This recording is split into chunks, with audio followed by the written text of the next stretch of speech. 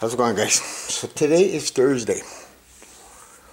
Tomorrow we're gonna get this door skin on, or the outer skin. The inside's all done. And um, and that. Uh, someone asked if I can make a video of me welding a, a, um, a panel on, so um, it'll be the door skin because this is the last major part of this uh, part here. And then once I get this all done here, right, um, you know, I won't take the door off yet, but I'll, you know, finish my body work here and that because I still have to do back here or in the front here. And then once that's all done, and then my door skin's all done. But this is what I got going on. Uh, this is what, you know, this is, um, you know, my brake is 36 inches, so it stops here from right there all the way to here. So I had to make a separate piece for this here. And, um, and right here. Now, if you don't, I don't know if, ah, let me put my googles on. See, see how I bent that over? See that?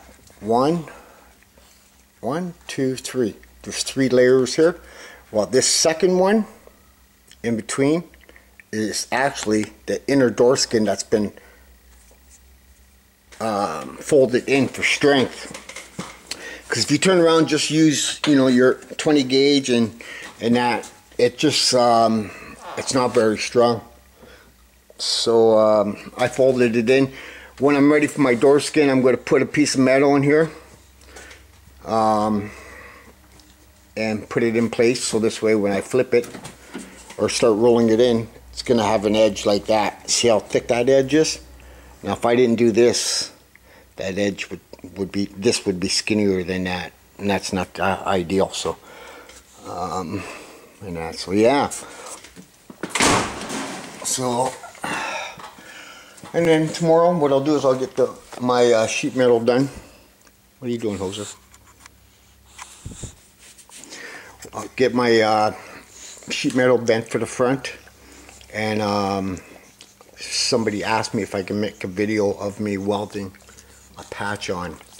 So, because I went from there to here three feet, so this way I'm going to go from here to three feet, but I'm not going to weld it solid because I'm doing it in two sections and I need to make sure it's even down low. So when I do this door skin, it should meet up right to the bottom of this rocker. It, not higher, not lower. It's the proper fitting is right at the edge. So, just thought I'd throw that in.